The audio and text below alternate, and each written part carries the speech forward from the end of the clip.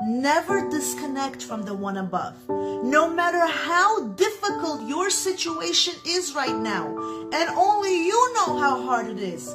Whether you're having a hard time with your children, whether you're having a hard time with your husband, whether you're having a hard time with finding a job, whether you're having a hard time paying your bills, it's temporary.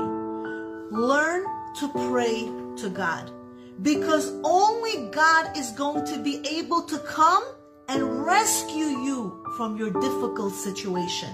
When you develop a connection called prayer, you are going directly to the source. It's like having a meeting with your manager.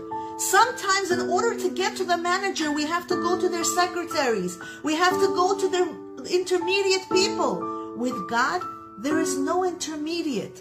We have the ability to go directly to Him